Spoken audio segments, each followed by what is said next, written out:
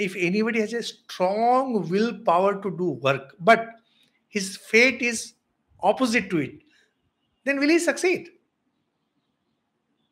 कोई व्यक्ति बहुत मेहनत कर रहा है उसको विल पावर बहुत अच्छा है लेकिन भाग्य उसके विरुद्ध है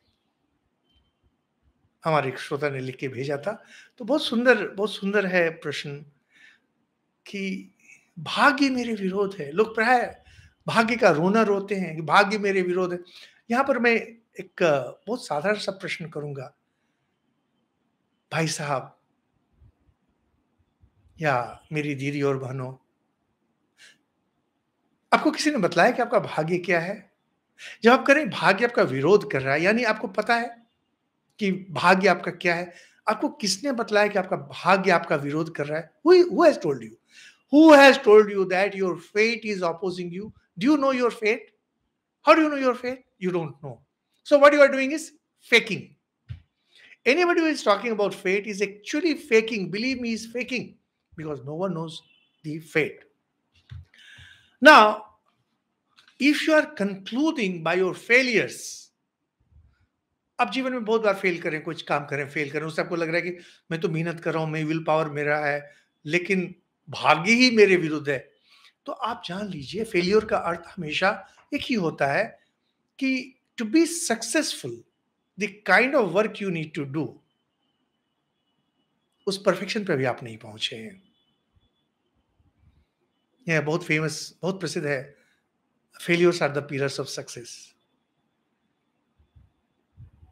अगर आप अपने आप को जाँच रहे हैं अपने फेलियर्स पे इसका अर्थ यही है कि जान लीजिए, अभी सक्सेसफुल होने के लिए जो स्किल आपको चाहिए, वह अभी तक आप में नहीं आया है।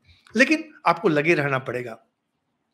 क्योंकि जो लोग सफल हुए हैं, चाहे क्रिकेट में हो, चाहे विज्ञान में हो, चाहे साइंस में हो, जान लीजिए, इन लोगों को किसी को किसी को आसानी से सफलता नहीं मिली है। क्योंकि क्या होता है, हम लोग हिंदू हैं, वेदांती हैं हम लोग पूर्व जन्म में हम लोग केवल विश्वास नहीं करते, जानते हैं कि पूर्व जन्म सत्य है।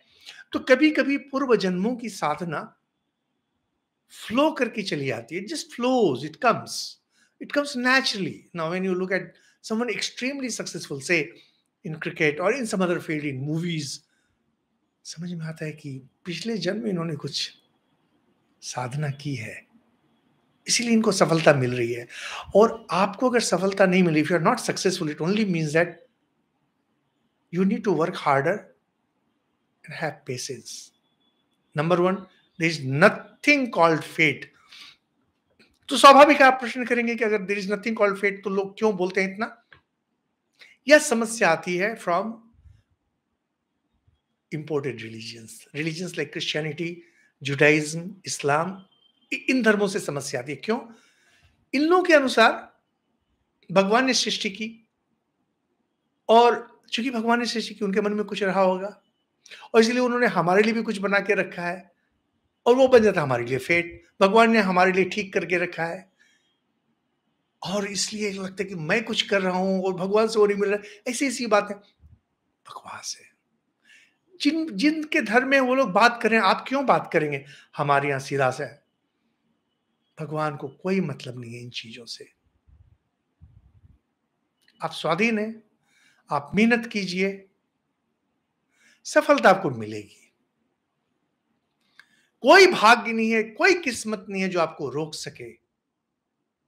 और अगर आप पूर्ण, सच्चे हिंदू हैं, वेदांती हैं if you if you claim your to be true Indian true Hindu you have to know you are atman you are one with God you are child of God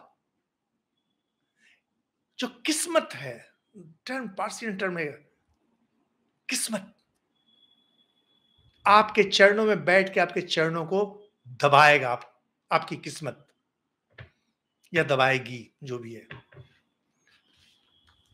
तो इसलिए यह सोचना कि कि भाग्य मेरे विपरीत है, नहीं, भाग्य कभी आपके विपरीत नहीं होता है।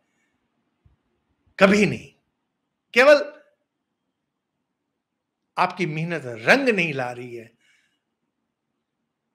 पहले-पहले आपने कुछ दूसरे तरह के कर्म किए हैं, वो आप ही के कर्म हैं, जो भाग्य बनकर सामने आता है। लेकिन जैसे आप काम ठीक से करना शुरू करेंगे, सब ठीक हो जाएगा।